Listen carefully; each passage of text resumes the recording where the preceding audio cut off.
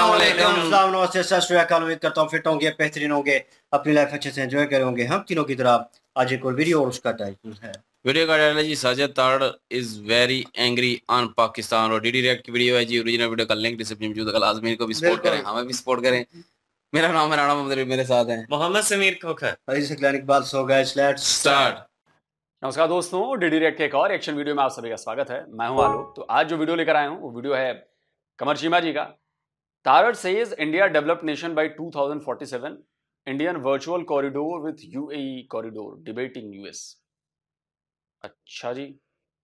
चलिए देखते भाई, क्या कह रहे हैं। तारड़ साहब, आज एक इंपॉर्टेंट कल बल्कि डिबेट है। अमेरिका के अंदर जो कि डोनाल्ड ट्रंप साहब और कैमला हैरिस की पिछली दफ़ा जो डिबेट हुई थी, उसमें तो ट्रंप साहब ने प्रेसिडेंट ही फारग कर दिया था। इस दफ़ा जो है वो डिबेट जो होने जा रही है आप इसको कैसे देखते हैं? क्योंकि पहले भी ट्रंप साहब शायद ये वीडियो थोड़ा पुराना हो गया है डिबेट हो चुकी है तो थोड़ा आगे खिसका देते हैं। ये क्या होने जा रहा है? और दूसरा ये अमेरिका के हवाले से भी बताएँ कि इसके साउथ एशिया पे क्या इम्पैक्ट होते हैं जो ट्रंप साहब और जो कैमला हैरिस की जो डिस्कशन है इसका जारी बात पूरी दुनिया की नज़रें अमेरिका की तरफ़ है साहब। हिमा साहब, एक और चीज़ खासकर आपने बताया जिस तरह यूएई के इस वक्त जो किंग है, वो पहले दौरे पर है भारत के और लेकिन मोदी साहब इससे पहले कई दौरे कर चुके हैं और वो अपना जो ट्रेड है वो बढ़ाने की कोशिश कर रहे हैं। यूएई बिगेस्ट ट्रेड पार्टनर है भारत के साथ। ना सिर्फ़ ये है, जो कल एक खबर मैंने मजीद देखी कि सेमाई कंडक्टर बनाने के अंदर चिप्स बनाने के अंदर भारत जो है वो 2029 तक वो दुनिया के सबसे बड़े सेमी कंडक्टर चिप्स बनाने के लिए अपने इरादे जो है वो ज़ाहिर कर रहा है। और उन्होंने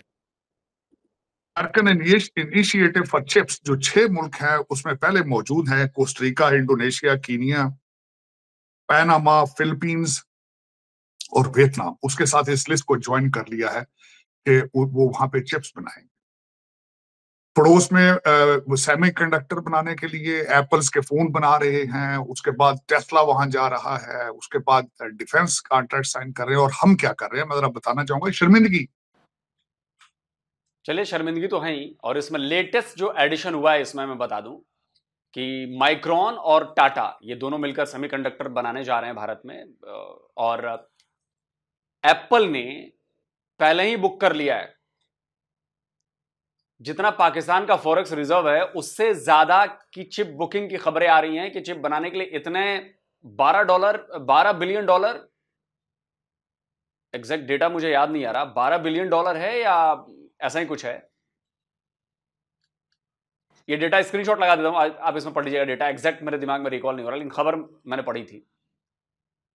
उससे ज़्यादा तो एप्पल यहाँ पे चिप के ऑर्डर देने वाला है, भारत में। मैं पिछले दो साल से बोल रहा हूँ कि आपको आइडिया नहीं कि भारत सेमीकंडक्टर में ऐसा कुछ करने जा रहा है, ऐसा हो जाएगा जो पाकिस्तान की पूरी जीडीपी से ज़्यादा का मार्केट होगा हमारा सेमीकंडक्टर का। आप लोगों को लग रहा था कि ये हवा हवाई बातें हो रही हैं, लेकिन अब ये बातें सामने आ रही हैं ना।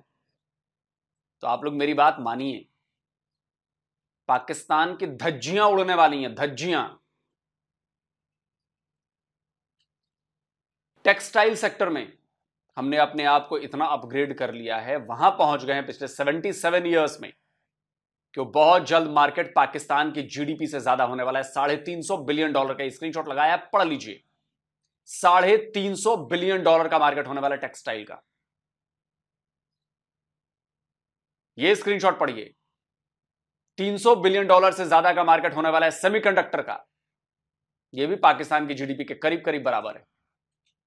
आप समझ रहे हैं, हम कहाँ जा रहे हैं? आपकी जीडीपी के करीब करीब बराबर, पिछली बार हमने 320 बिलियन डॉलर का आईटी सर्विसेज़ का एक्सपोर्ट किया था, ये स्क्रीनशॉट पढ़ लीजिए। और ऐसे में सेक्टर गिनाने बैठूँगा तो ऐसे पाकिस्तान यूँ खरीद लेंगे हम, और न जाने कितनी बार खरीद लेंगे, एक दो बार नहीं, कितनी बार, क्योंकि चार ट्रिलियन हो चुका है। चार ट्रिलियन डॉलर की इकोनॉमी हो चुकी है हमारी। लेकिन बात ये नहीं है, बात आपको नीचा दिखाने की नहीं हो रही है। बात ये कड़वी इसलिए मैंने की है कि आप समझें कि आप लोग कितना पीछे हो चुके हैं। हम यहाँ से आगे के दस साल का प्लान करके चलते हैं। आप तो पिछले पचास साल भी प्लान नहीं कर पाए हैं कुछ। आप वहाँ पर खड़े हैं अभी, पीछे पचास साल पहले। या मैं कहूँ कि सतहत्तर साल पहले खड़े हैं जहाँ पर थे, उससे भी नीचे आ गए हैं। सोचो पाकिस्तानियों, आप लोग क्या कर रहे हो? कहाँ ले जा रहे हो अपने मुल्क को? और हमें आप हमें, आप कहते हो कि भारत में गुर्बत बहुत ज़्यादा है, भारत में गरीब बड़े ज़्यादा हैं, भारत में टॉयलेट नहीं है, भारत में ये नहीं है, भारत में वो नहीं है। अबे भारत भिखमंगा नहीं है, भिखमंगे तुम हो। भारत का पीएम भीख नहीं माँगता, तुम्हारा पीएम माँगता है। चलते हो बराबरी करने। चीमा साहब शर्मिंदगी के नए बाप जो हैं, वो आप रकम कर रहे हैं, जो बिलखसूस कल परसों जो गुजरा, सबसे पहले तो मैं जो कल हुआ जलसा, मैं उसको उस पर बोलना चाहूँगा।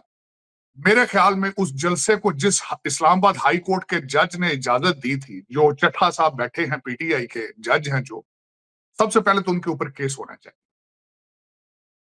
उनको, उनके उनके पेट खराब हो जाते हैं जब भी पीटीआई का जलसा बंद करने की कोशिश की जाती है। और फिर उन्हें पता ही नहीं होता कि पीटीआई किस चीज़ के लिए मशहूर है। गाली गलोच और जो लफ्ज इस्तेमाल किए आपके गंडापुर साहब ने वहाँ पे इसकी नजीर नहीं मिलती। इसकी जो उन्होंने बिलखसूस दो तीन चीज़ें मैं मेंशन करना चाहूँगा, जो उन्होंने पाकिस्तान के को तोड़ने का तोड़ने का जो मंसूबा बनाया है, जो खासकर वो मैं उसके बारे में बात करना चाहूँगा। उन्होंने एक तो पंजाबियों और पठानों का लड़ाई करने, उनको आपस में उन्होंने लड़ाई के लिए नारे लगाए।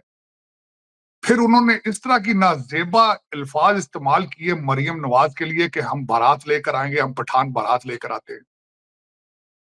फिर उसके बाद चीमा साहब जिस तरीके से उन्होंने पाकिस्तान की फौज को ललकारा, पाकिस्तान के सिस्टम को ललकारा कि हम दो हफ़्ते के अंदर खान साहब को निकालो, वरना हम ईंट से ईंट बजा देंगे।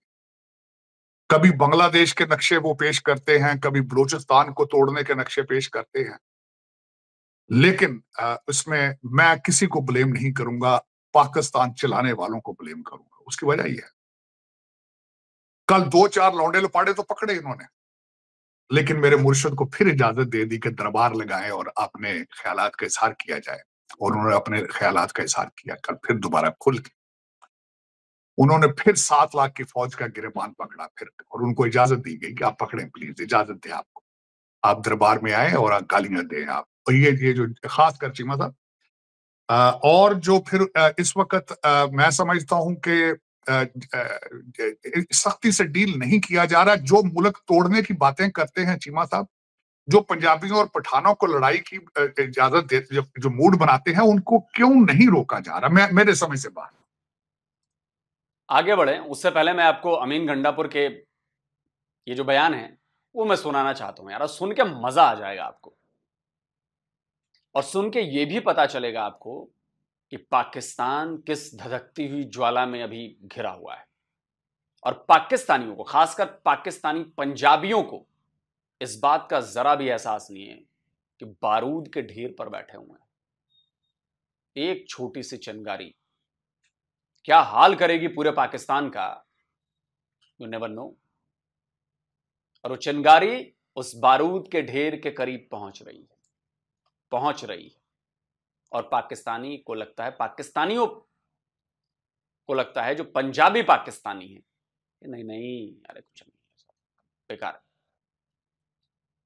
सुनी तैयार रहो। अगला जलसा एनओसी हो या ना हो, अगला जलसा लाहौर में होगा। मरियम, मैं आ रहा हूँ।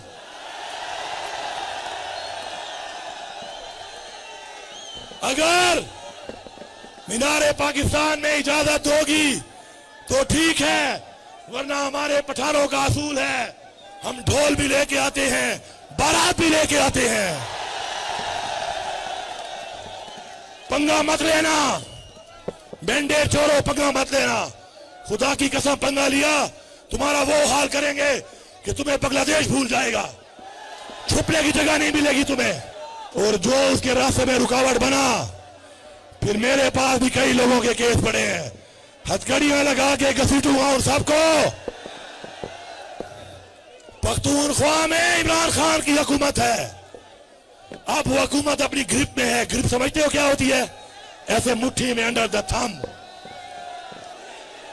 और जो तुम्हें मारे, उसको मारोगे भी सही इसके बाद। अब जो हमें मारेगा हम उसको मारेंगे।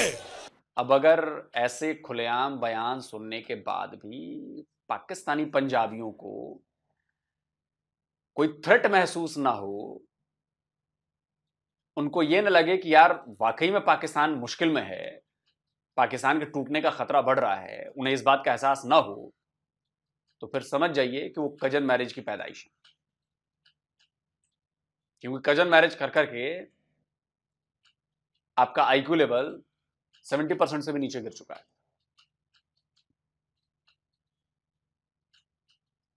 कई पाकिस्तानी मेरी बातों को सुनकर भड़क जाएँगे। उनका बीपी बढ़ जाएगा। उनकी नसें फूल जाएँगी। तिल मिनाने लगेंगे। कहेंगे कि ये तो इस्लाम पर अटैक किया है इसने। ये तो मुसलमानों पर अटैक है। तो भाई देखो, ये मैं नहीं कह रहा। ये पाकिस्तान की रिसर्च कहती है। ये स्क्रीनशॉट लगाया है। ये जरा देख लो जाकर खबर पूरी पढ़ लो। और इससे भी बात नहीं बन रही है तो मैं आपको आपके ही कुछ रिसर्चर्स की बातें सुनवा देता हूँ जिससे आपको अंदाज़ा हो कि जो मैं बात कह रहा हूँ वो सही बात कह रहा हूँ। सुनिए। तो हम ये जो सुनते हैं कि कज़न मैरिज आप तो खुद डॉक्टर हैं तो इसको जरा मेडिकली आप किस तरह देखते हैं? जी हाँ ये बात तो सही है कि कज़न मैरिजेज में जो आपके जीन्स हैं वो वही रिपीट हम्म। होते रहते हैं। ख़ास तौर पे ये बात वहाँ भी बहुत एहतियात करनी चाहिए अगर फैमिली में कुछ बीमारियाँ चल रही अच्छा। ख़ास तौर पे थैलासीमिया हो किसी को। तो थैलासीमिया अगर फैमिली में हो फिर तो बहुत ज़रूरी है कि हमें उनकी जेनेटिक मैपिंग करके फिर शादी करनी चाहिए। हम्म। और इसी तरह कुछ और बीमारियाँ भी हैं जो फैमिली में रन करती हैं। हम्म, तो मेरे जो बेटों की शादी हुई है वो बिल्कुल आउट ऑफ़ फैमिली हुई है। कुछ बीमारियाँ ऐसी हैं जिनमें हाँ, बहुत एहतियात करने की ज़रूरत है। कुछ कैंसर भी है जो फैमिली में रन करते हैं। हम्म। बाजू का दिल की बीमारियाँ भी फैमिली में रन करती हैं। एक रिसर्च भी है कि आपकी जो कज़न मैरिजेज हैं इसमें स्पेशली जो फ़र्स्ट कज़न है उसमें अगर आप शादी करते हैं तो आपके काफ़ी सारे जैसे मूड डिसऑर्डर्स हैं बाईपोलर है डिप्रेशन के केसेस ज़्यादा आते हैं जो कज़न मैरिजेज में डिप्रेसिव ज़्यादा होते हैं। तो ये भी है कि कज़न ये तो नॉर्मल शादियों में भी होता और जेनेटिक जेनेटिक डिसऑर्डर्स भी होते हैं जो पर्सनालिटी ट्रेट्स है ना ये थर्ड जनरेशन में पास ऑन होते हैं। डीएनए में अगर खराबी आ गई तो उसमें कोई तब्दीली नहीं कर सकता। नहीं अच्छा हाँ। अब जो फ़र्स्ट कज़न तो है। उसमें आ जाता है। L S D L S D और इसके ऊपर अभी काफ़ी ज़्यादा बात हो रही है। हमारे पास सिंध में भी ऐसा केसेस आए हैं जो फैमिली कज़न मैरिजेस की वजह से आठ बच्चे हैं तो आठ के आठ ही इस बीमारी के शिकार है। तो ये चीज़ है कि इसके ऊपर कज़न मैरिजेस के जो ये लेटर ऑन जेनेटिक जो डिसऑर्डर सामने आ रहे हैं आ, हम ये नहीं कह सकते कि सब में होते हैं किसी में नहीं होते लेकिन हाँ। चांसेस है। और इसकी तस्दीक के लिए मैं एक और रिपोर्ट स्क्रीनशॉट शेयर करना चाहूँगा जिसमें पाकिस्तान की रिपोर्ट आई है जिसमें कहा गया है कि आठ करोड़ पाकिस्तानी पागल हो चुके हैं मेंटल इलनेस के शिकार हैं। दिमागी तौर पर वो ठीक नहीं है। उनका दिमाग ठीक तरह से काम नहीं कर रहा है। यानी कि ये सबूत है इस बात का कि दिमाग आपका डूब रहा है कज़न मैरिज की वजह से, उसके परिणाम दिख रहे हैं। बाकी आपको नहीं समझना है, मत समझो। आगे बढ़ते हम पड़ोस की बात करते हैं सेमाई कंडक्टर की बात करते हैं यूएई के साथ ट्रेड की बात करते हैं, आप पस्तियों की बात करते हैं, आप बांग्लादेश के नक्शे पेश करते हैं मुर्शद ने कल कहा है, बलोचिस्तान तो आपके हाथ से निकल चुका है। मैं पूछना चाहूँगा कि मुर्शद पाक, आप आप क्या चाहते क्या है? आपके पास एक सौ उस्मान बुजदार हो, मुराद सईद हो, और आप दरबार में बैठे हो, और साथ गाने चल रहे हो कि आज इमरान खान ने जलसे च मुजरा करन जी करदा थे तभी यह सारा कुछ चलता है। मेरी समझ से बाहर है कि आपकी डायरेक्शन क्या है। आपके, मेरे मेरे I have no clue about आपने, आप सारे जितने इस वक्त पाकिस्तानी हैं 1947 को। जिस तरीके से पाकिस्तान बनाया गया है, आप उसको, उस पर मेरा मकसद है कि आज, अगर सोचा जाए, एक मिनट के लिए आप ले चले अपने आप को 1947 में। इन हरकतों के लिए पाकिस्तान बनाया गया था। उस दूसरी तरफ़ से जवाब आया है कि अटक का पुल करके पास दिखाओ तो हम देखेंगे, तुम्हारी टांगे तोड़ देंगे। मेरी एक मरियम मुस्लिम लीग नून की खातून ने कहा ਕਿ ਪੰਜਾਬ ਪੁਲਿਸ ਨੂੰ ਨਸ਼ਈਆਂ ਨੂੰ ਕੇ ਸਾਥ ਡੀਲ ਕਰਨੇ ਦਾ ਬੜਾ ਤਰੀਕਾ ਚਰਸੀਆਂ ਨੂੰ ਅਸੀਂ ਡੀਲ ਪੰਜਾਬ ਪੁਲਿਸ ਬੜਾ ਸੋਹਣੇ ਤਰੀਕੇ ਨਾਲ ਕਰਦੀ semiconductor Cheema Sahib 2029 2047 developed nation on the planet versus this IMF का कहना है कि शायद हाँ स्क्रीनशॉट लगाता हूं 2047 तक भारत की इकोनॉमी 55 ट्रिलियन डॉलर्स की हो सकती है। आईएमएफ के एक एग्जीक्यूटिव का कहना है। भाई, भारत का नहीं कहना है। भारत की किसी संस्था का नहीं कहना है। आईएमएफ का कहना है। आईएमएफ के बंदे का कहना है। न पचपन ट्रिलियन तीस ट्रिलियन भी पहुँच गए। पैंतीस ट्रिलियन भी पहुँच गए। बहुत बड़ी बात इसी के इन्हीं चीज़ों के लिए पाकिस्तान बनाया गया था मेरे ख्याल में। आज ये आज आज ये पच्चीस करोड़ लोगों से ये सवाल कि this is what you made the country for और फिर उसके बाद मैं एक बंदे को ब्लेम नहीं करूँगा। चीमा साहब, अगले दिन भी मैंने आपके सामने बैठ गया था, पच्चीस करोड़ लोगों को ब्लेम करूँ। क्योंकि चलाने वाले अपने आप को पाकिस्तानी कहते हैं, है तो वैसे उनके दिल, दिमाग तो कनाडा और लंदन में रहते हैं। सारा दिन मुर्शद पाक क्यों बार बार हमारे हाफिज जनरल साहब को ब्लेम करते हैं? लंदन प्लान लंदन प्लान, तुम उसका हिस्सा हो। तुमने वहाँ लिख के दिया था, तुमने फलां किया था। मैं आज उन्होंने कहा कहना मैं तो गल ही नहीं कर कहना मैं तो नाराज़ हूँ। हालाँकि यू टर्न लेगा इसी पे इंसान ये। फिर दोबारा यू टर्न लेगा। वो सुबह कुछ कहता है, शाम को कुछ देता है। सत्तर, बहत्तर साल, इकहत्तर साल उसकी एज है। इस एज के अंदर लोग मुनासिब बातें नहीं करते।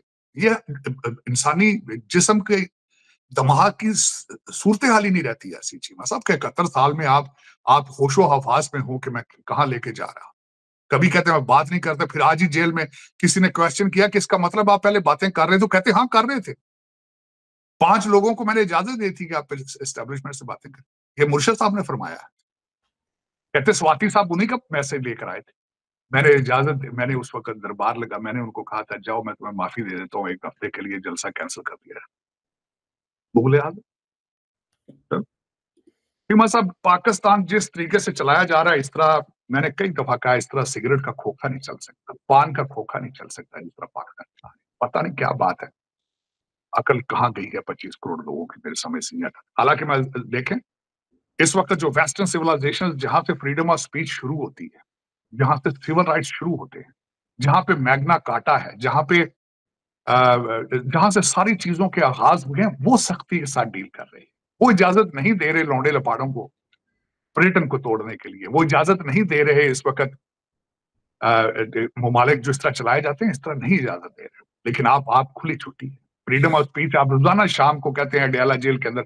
आज उन्होंने, मैं जो एक खास आखिरी लफ्ज इस इस टॉपिक पर बात करना चाहूँगा, मेरे मुर्शद ने फरमाया कहते बाहर निकलो, जेलों में जाओ। कहते जेलों से ना डरो, मैं चौदह महीने से जेल में बैठ के बकरे की राने एंजॉय कर रहा हूँ एक्सरसाइज भी कर रहा हूँ, वो दो मालिशिए भी दिए गए हैं जो मेरी मालिश कर रहे हैं।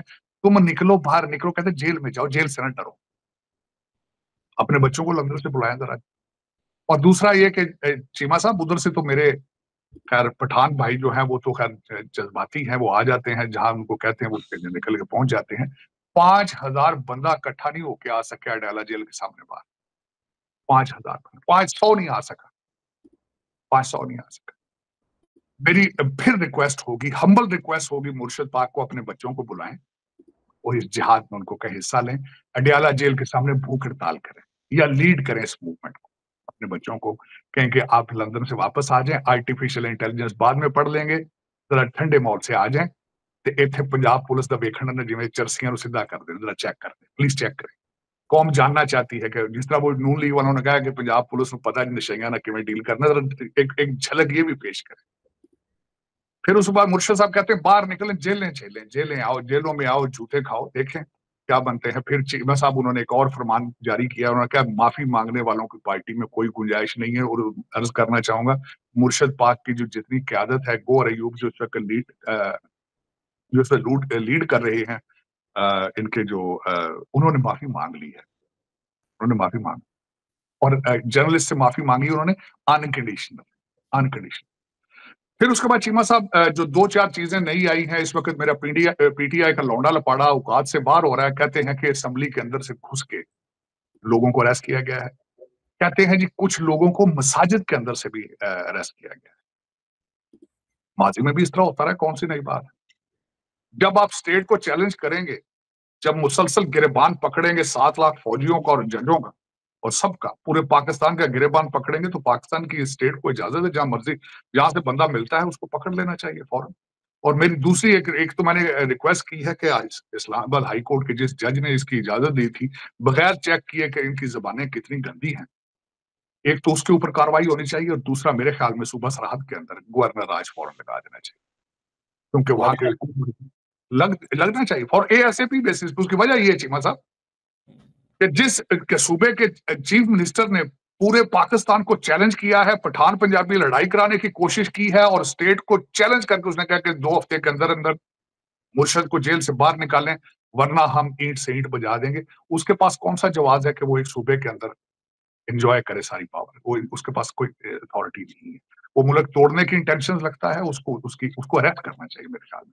और और खास कर उस एक इंसान ने मोडे ने चादर रख के उसने कहा, जिहाद करो, बाहर निकल के जिहाद करो, जालिम फौजियों के खिलाफ जिहाद करो। मैं फौजियों का लफ्ज वैसे इस्तेमाल कर रहा हूँ, लेकिन वो जिहाद के लिए कौम को कहा है उकसाया है। लेकिन कौम को ये नहीं पता इनके ऊपर खुद शराब की बोतल का केस अभी चल रहा है। जो जिहादी है। ये हमारे ख्याल पीटीआई के जिहादी ऐसे जिस तरह मैंने कहा है कि नीचे मुजरे होते हैं, ऊपर अय्या का नाबुद, अय्या का नस्ताइन होता है। तो वैसे ये मैंने आपको बताया था कि मुर्शद पाक की सिर्फ़ एक ही खूबसूरती है।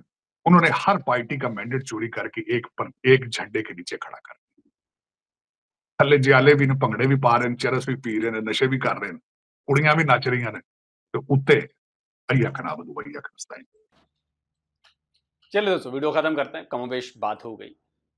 यार, मैं तो इंतज़ार कर रहा हूँ, क्योंकि मुझे दिख रही है चीज़।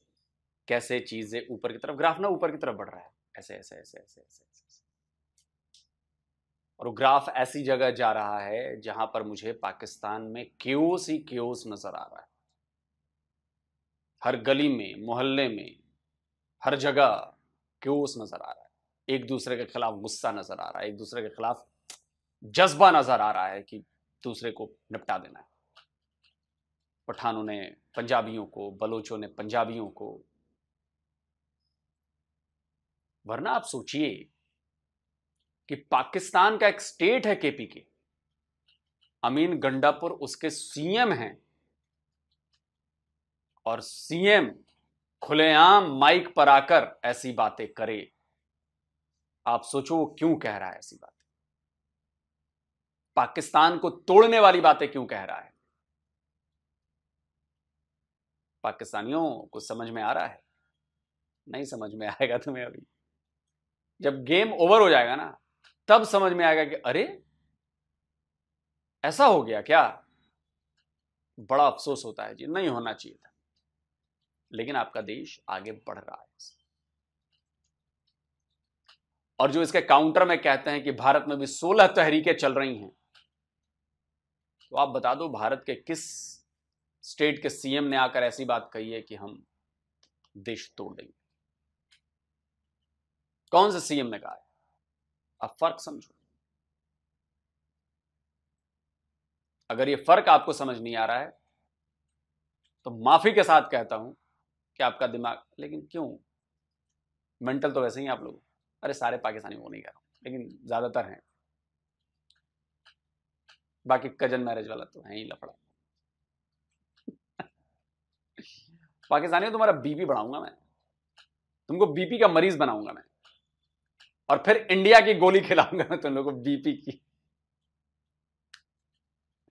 खैर, कोई बात नहीं, ये मज़ाक कर रहा हूँ मैं। बेसिकली आप लोगों के लिए इतने कड़े शब्द जो बोल रहा हूँ ना, वो आप लोगों को गुस्सा दिलाने के लिए बोल रहा हूँ कि इस गुस्से का इस्तेमाल करो कुछ। करो! अपनी कंट्री के लिए कुछ करो। निकलो बाहर। इमरान खान के लिए कुछ करो। घर में बैठने से काम नहीं होगा। इनकलाब घर में बैठने से नहीं आता। देश घर में बैठकर ठीक नहीं किए जाते। उसके लिए बाहर निकलना पड़ता है, लड़ना पड़ता है, भिड़ना पड़ता है, अपनी बात मनवानी पड़ती है, अपनी बात रखनी पड़ती है। मोबाइल पर नहीं लगता कि चलो मैसेज कर दिया, ट्विटर पर एक पोस्ट कर दी, फेसबुक पर एक पोस्ट डाल दिया। बाकी आपकी मर्ज़ी। बाकी आपकी मर्ज़ी। तो दोस्तों, ज़रूर बताएँ, वीडियो कैसा लगा? जल्दी मिलता हूँ एक और नए वीडियो के साथ। नमस्कार। जय तो अगर आप चाहते हैं मुझसे बात करना मुझसे कोई सवाल पूछना तो फ़ैन कॉल पर आप मुझसे कनेक्ट हो सकते हैं। फ़ैन कॉल में ये सुविधा है कि पोस्ट, पोस्ट करना ना बाहर निकलने से ज़्यादा खतरनाक है वो सीधे घर आ जाते डाला। तो बहरहाल सबसे पहले तो ये बात कर लें कि दूसरा चैनल है धार्मिक रिएक्ट उस पर जो है वो कल की मूवी का जो है रिएक्शन आ, आ रहा है और वीडियो अपलोड हो चुकी हैं। लाजमी जाएँ, देखें और सब्सक्राइब करें चैनल को, क्योंकि हमारा दूसरा चैनल रामायण वाला जो है, उड़ चुका है। और इसको जो है सब्सक्राइब करें, इस पर लिटिल कृष्णा भी आएगा, और भी धार्मिक वीडियो आएँगी। तो लाजमी जो है, वो सपोर्ट कीजिएगा सब्सक्राइब कर लीजिएगा। अपने मूवी का देखना तो ठीक है, नहीं देखना फिर भी सब्सक्राइब कर लीजिए। लिंक जो है डिस्क्रिप्शन में है। और बाकी अभी बात करें वीडियो की तो शुरुआत करते हैं सकलैन भाई से। वीडियो इंटरेस्टिंग थी जी नो डाउट और क्योंकि वो सारी बातें जो हैं ऑन रियलिटी थी और कुछ बातें हम नहीं कर सकते मैं पहले ही बता दूँ ठीक है? अगर मेन मुद्दों पे मोटा मोटा बात किया जाए तो मेरे ख्याल में वो जो इन्होंने साजिद तार साहब कह रहे हैं कि उनके बार बार ये मैंने कुछ छठी सातवीं वीडियो देखी होगी जिसमें बार बार कह रहे हैं कि इमरान खान उनका नाम नहीं लेते उनको मुर्शिद कहते हैं। मुर्शद मुर्शद पाक जो है वो वर्ड यूज़ करते हैं तो ठीक है दैट्स ओके आप नाम नहीं लेना चाहते लेकिन उनके बच्चों को आप क्यों क्रिटिसाइज कर रहे हैं? उनका एक परसेंट जो है ना वो भी लेना देना नहीं है इस सियासत से। उसने इमरान खान ने उनको छोड़ दिया था। हाँ बिल्कुल छोड़ दिया लेकिन फिर भी वो बाप सियासत की वजह से। इतना करते हैं बाप नहीं वो तो बाप तो है तो, ना बाप के लिए तो उन्होंने तो ज़ाहिर है बेशक है लेकिन क्रिटिसाइज इसलिए नहीं करना सियासत में तो नहीं ना आए। क्योंकि इमरान खान की तरफ़ से उनको कोई अखराजात नहीं भेजे जाते। हाँ। कुछ भी इमरान खान की तरफ़ से उन्हें कोई फैसिलिटी हासिल नहीं है। ये चीज़ गलत है क्योंकि वो रहती है। अपनी माँ के साथ रह रही है। माँ उनकी ब्रिटिश है तो उन्होंने जिस कंट्री की वो पैदाइश है माँ उनकी वहाँ की है तो उन्होंने तो उधर ही रहनी। उनको पकड़ के लेके आए ये नवाज़ शरीफ के नवाज़ शरीफ के बच्चे जो है सलमान सलमान शबाज पता नहीं क्या क्या नाम है वो जो कहते हैं कि पाकिस्तान हम पाकिस्तानी नहीं है। वो उनको ले गए पकड़ के जो यहाँ पे पले यहाँ से सारा कुछ ले के सारा कुछ बाहर चले गए और वहाँ पे जाके जश्नियाँ कर रहे हैं। उनको बोले हाँ, इमरान खान के बच्चों को सेटल करने में इमरान खान का कोई हाथ नहीं है। जिन जितने भी पॉलिटिक्स हैं जिनका अपने बच्चों को पाकिस्तान के पैसे चोरी करके पाकिस्तान का हक जो है, आम लोग जो है, उनका हक अपने बच्चों को देकर बिज़नेस बढ़वा रही हैं, आगे उनको तरक्की दिलवा रहे हैं, ऐसे लोगों के खिलाफ बात करना बनती है। बहरहाल जी, वो जो बात मैं कर रहा था कि बीच में उनको गोली लगी और गोली लगने के बाद वो जो है, उनके बच्चे आए और इन पे इल्ज़ाम लगाया गया कि वो सियासत होल्ड करने के लिए आ गए हैं, इनके पीछे गद्दी नशीन बनने के लिए आ गए हैं। उन्होंने, उनसे इंटरव्यू में पूछा गया तो उन्होंने कहा, हमारे बाप को गोली लगी है। हम उनका पता करने आए हैं, उनकी तबीयत का मालूम करने आए हैं और कुछ दिन रहेंगे और चले जाएँगे। ये इंटरव्यू में बोला। उसके बाद उन्होंने कोई जवाब नहीं दिया। उन्हें इंटरेस्ट ही नहीं है मीडिया के सामने बात करने का कि यार क्या चल रहा है, क्या हो रहा है। उन्हें सिर्फ़ अपने बाप से मतलब था कि उसकी ज़िंदगी से कि उनकी ज़िंदगी बच गई है। वो ये कहना चाह रहे थे कि हम लेके जाना चाह रहे हैं इनको। लेकिन इमरान खान जो है, वो मुल्क को सर्व कर रहे हैं। पाकिस्तान को सर्व कर रहे हैं, एक बंदा कंट्री को सर्व कर रहा है, और आप उसके ऊपर इल्ज़ाम लगा रहे हैं, कितनी सारी चीज़ें जो हैं, ये साजिद तार साहब से कह रहा हूँ, कितनी सारी चीज़ें निकली हैं, जो इमरान खान ने बोला है, कि ये हो रहा है, ये कर रहे हैं, ये हो रहा है, हुआ है कि नहीं हुआ, वो निकली है अभी। उसके बाद आप उस बंदे पे इल्ज़ाम लगा रहे हैं अवाम को आप कह रहे हैं कि भाई वो खिलाफ हो गए हैं, इनको तो उठा के साइड पे लगा देना चाहिए, जिसका जिधर दिल करता है, अगर वो हाँ अगर वो गलत बोल रहा है ना मुल्क वैसे तोड़ने की कोशिश कर रहा है कि मतलब सारा निज़ाम ठीक चल रहा है। फिर कोई बंदा आके ऐसी हरकत करता है, ऐसी वार्तालाप करता है, अवाम में खड़े होकर कोई भी बात करता है मुल्क तोड़ने की, फिर उसे पकड़ना बनता है, उस पर केस करना बनता है, फिर अगर केस वो साबित होता है, उसके बाद उसको लटकाना बनता है, या जो भी सजा आपने देनी है वो दे सकते हैं। उस हिसाब से अभी तो मुल्क के हालात जिस तरह के चल रहे हैं, आप लोगों को पता है, ये अमेरिका बैठा हुआ खुद, ठीक है, और कौन चला रहा है पाकिस्तान को? अमेरिका। होल्ड कौन कर रहा है? अमेरिका। ठीक है। दाने कौन डाल रहा है? अमेरिका। तो भाई जो अमेरिका फिर वो ये अब उधर उन्हीं की सियासत में घुसा हुआ उनका ही बंदा है। ठीक है। ये इनसाइड जो स्टोरी चल रही है या इनसाइड गेम चल रही है, ये जानता है बंदा। ठीक है ना? और ये क्यों इमरान खान के खिलाफ है? क्योंकि भाई इमरान खान वो है जिसने सीधा जनाब, ना, मैं वर्ड यूज़ नहीं करना चाहता। अमेरिका को वो दिखा दिया है। ठीक है ना? अब अमेरिका को लगी है मिर्ची। वो हटाना चाहते थे इसको। वो ही उन्होंने किया कि इसको साइड पे करो और अपना बंदा लेके आओ। जो कठपुतली बने, हमारे इशारों पे नाचे। ये इशारों पे नाचने वाला नहीं था इमरान खान। इसीलिए इनको तकलीफ़ होती है। बात कर रहा है कि अंदर डीलें हो रही हैं सारी। इनको, इनके पिछवाड़े में मिर्चें लग रही हैं कि डीलें कैसे हो रही हैं? अंदर बात कैसे हो रही है? अंदर तो बात होनी नहीं चाहिए। इनका मैसेज बाहर कैसे आ रहा है? ठीक है? उन्होंने सिर्फ़ डंबल मांगे थे एक्सरसाइज के लिए। एक अबव सेवेंटी बंदा जो है वो अपनी एक्सरसाइज को प्रेफरेंस दे रहा है। अपनी सेहत को क्यों? उसने आगे चलना है। उसे पता है कि मेरी ज़रूरत है। मैंने आगे आके संभालना है, मैंने चलाना है। मैंने ये नहीं है कि जेल में। उस लीडर जैसा नहीं है बगैरत के जो बाहर भाग जाएँ, ठीक है? स्टाम्प पेपर दस रुपए के, पचास रुपए के स्टाम्प के ऊपर बाहर भाग जाएँ, ठीक है ना? वो ऐसा नहीं है। उसने मुल्क को एक किस्म की प्रेफरेंस दी है।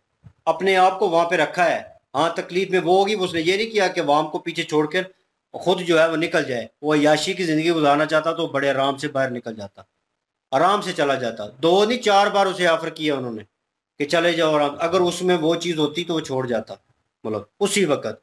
जेल में ना सड़ रहा होता।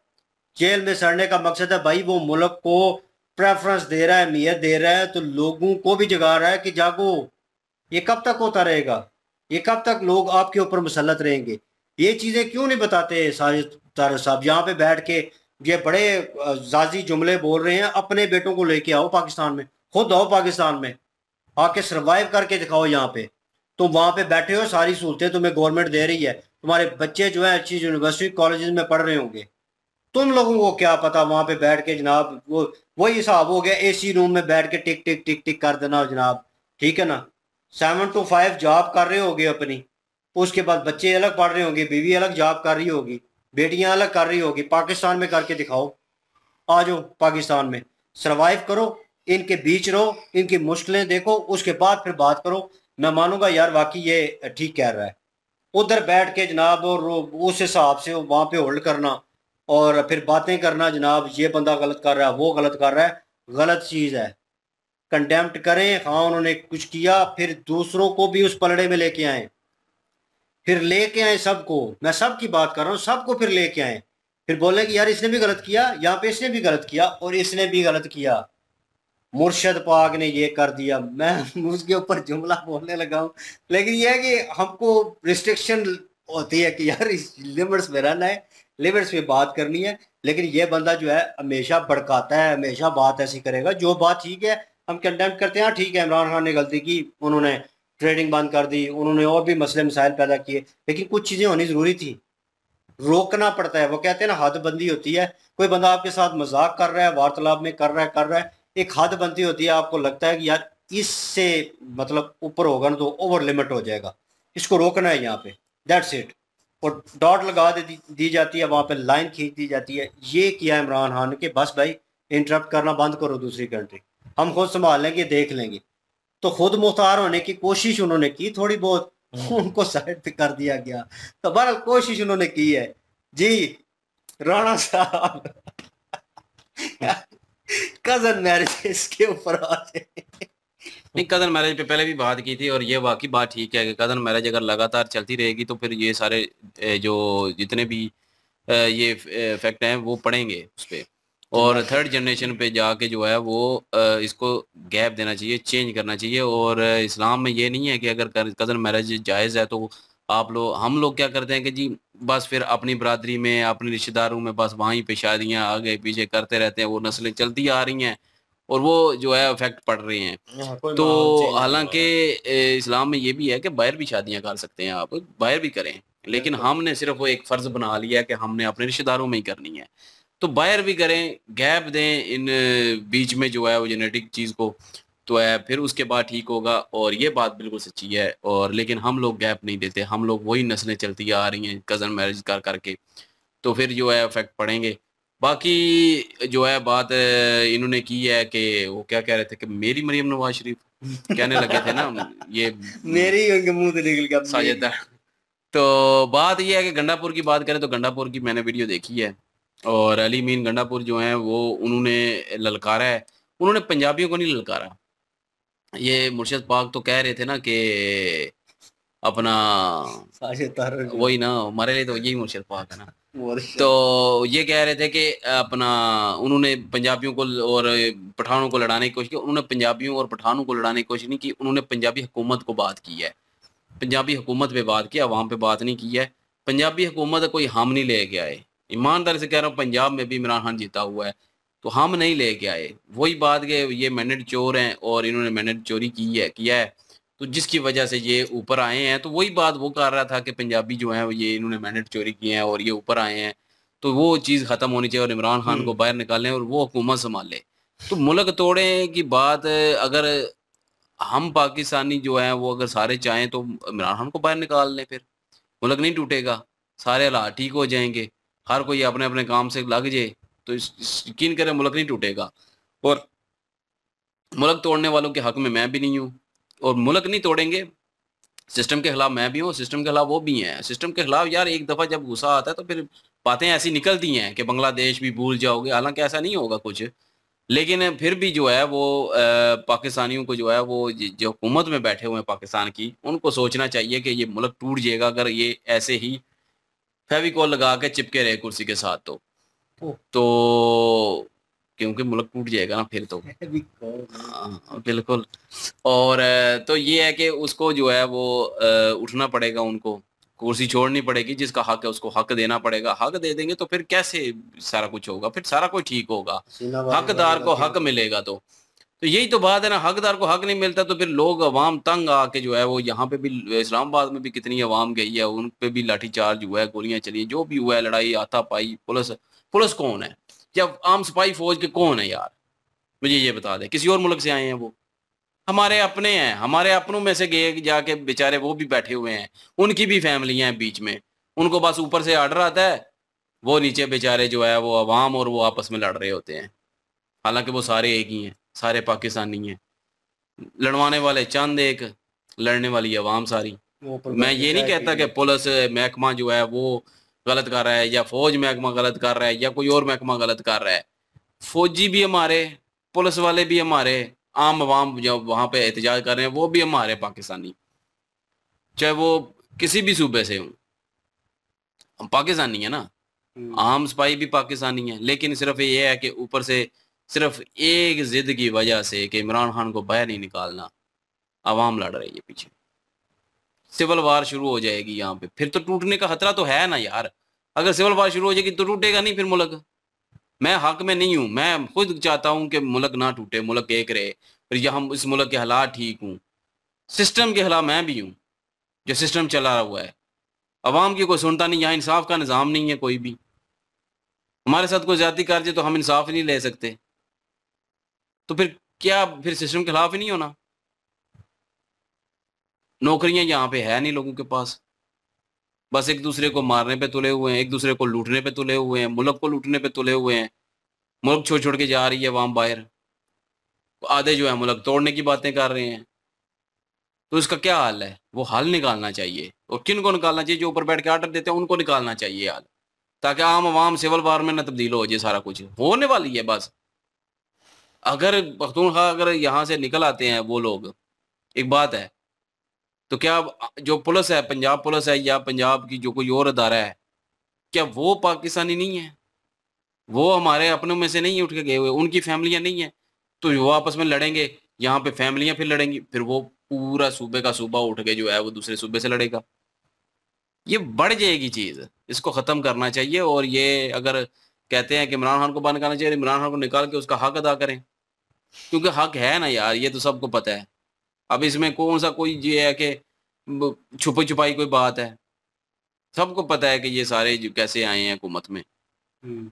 तो ये इस चीज़ चीज़ ठीक करें पाकिस्तान ना तोड़ने दें। पाकिस्तान के हालात ठीक हूँ। इंडिया देख लें सेमी कनेक्टर बना रहा है। सेमी कनेक्टर में जो है वो 300 बिलियन का जो है उनका हो जाएगा इकानमी मतलब चार ट्रिलियन की इकानमी है उनकी अभी। दो में पचपन ट्रिलियन तक हो जाएगी। आईएमएफ कह रहा है। पाकिस्तान क्या करेगा उस वक्त तक? पाकिस्तान चार पाकिस्तान बन चुके होंगे उस टाइम तक। अगर ये हालात रहेंगे तो चार बन जाएँगे ना। मैं नहीं चाहता बने। लेकिन अगर ऐसे हालात रहे तो बनेंगे। ये चीज़ पाकिस्तानियों को जो पाकिस्तान चला रहे हैं जो पाकिस्तान जिनके होल्ड में है उनको सोचना चाहिए। अगर पाकिस्तान के टोटे हो जाएँगे तो आप किस पे हुकूमत करेंगे? सिर्फ़ पंजाबिस्तान पे।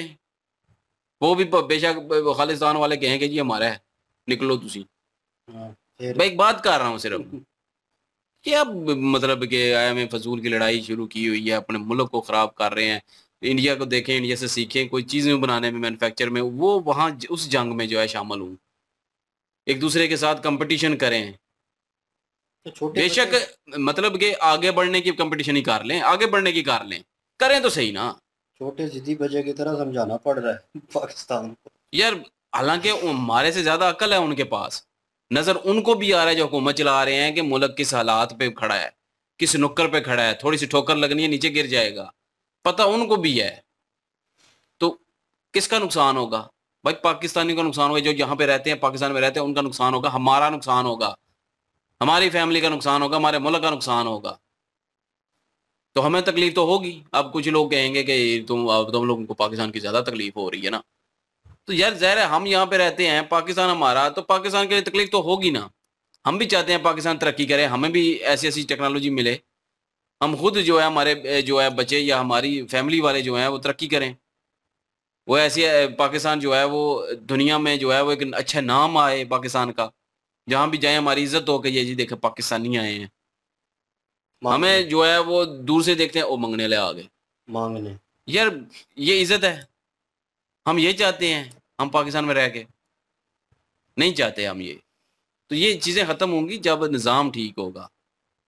तो निज़ाम को ठीक करना चाहिए निज़ाम को ठीक करके बेशक हुकूमत करें। पाकिस्तान है तो आपकी हुकूमत है पाकिस्तान नहीं है तो आपकी हुकूमत नहीं है। किसको लूटेंगे फिर? दूसरा फिर अपने घर वालों को लूटेंगे अपने माँ बाप को नोचेंगे। ऐसे ही। तो पाकिस्तान को बचाएँ पहले। तो बाकी रही बात इंडिया जो है वो बाकी टेक्सटाइल में उन्होंने बताया वो आगे जा रहा है आईटी सेक्टर में अभी जो है वो सेमी कनेक्टर की जो है चिपें जो है उनमें।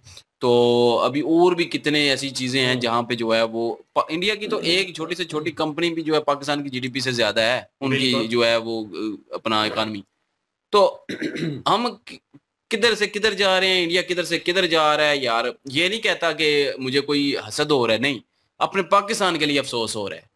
क्योंकि हमने वहाँ पे रहना है, पाकिस्तान में। हमें अपने पाकिस्तान के लिए अफसोस होता है। इंडिया, हम चाहते हैं कि इंडिया भी आगे जाए, लेकिन हम चाहते हैं कि पाकिस्तान भी आगे बढ़े को तरक्की करे। पाकिस्तानियों को भी कुछ सहूलतें मिले, नौकरियाँ मिले। बिल्कुल जी, पाकिस्तानी जो पॉलिटिक्स हैं, उनका एक काम बनता है, उनकी एक ज़िम्मेदारी है। वो जिन जिन उहदों के ऊपर बैठे हुए हैं, उनको चाहिए कि अपनी ज़िम्मेदारी को अच्छे से निभाएँ। और कोई भी इस तरह का माहौल पैदा ना करें जिससे मुल्क की हालात खराब हों। और दूसरी चीज़ ये कि जो गवर्नमेंट को होल्ड कर रहे होते हैं, उन लोगों की ज़िम्मेदारी होती है कि जिन मसाइल की वजह से, जिन प्रॉब्लम्स की वजह से ये सारी चीज़ें क्रिएट होती हैं, ऐसी चीज़ों के ऊपर काबू पाना। ना कि आवाम को डंडे के ज़ोर पर दबाने की कोशिश करना, ये ठीक नहीं है। उनके मुतालबात सुने जाएँ और उनके मुतालबात जो हैं, उनकी डिमांड के मुताबिक उनको हल किया जाए। क्योंकि कोई भी चीज़ है, उसके ऊपर काबू पाने के लिए आप उसके साथ ज़ोर ज़बरदस्ती नहीं कर सकते, उस प्रॉब्लम का हल कर सकते हैं। आराम और सुकून से जितने मसाइल हैं, उनके ऊपर हल उनके ऊपर हल लेकर आए, कुछ इस तरह के काम करें कि जो जायज़ जायज़ बातें हैं, वो उनकी मानिए, जो नहीं मानने वाली, वो उनको दलील और कानून के मुताबिक समझाइए। कानून जो है, उसका सहारा लीजिए कि अपने हाथ में कानून को अगर लेंगे तो जाहरी बात है, फिर आवाम जो है वो इस चीज़ को बर्दाश्त नहीं कर सकती।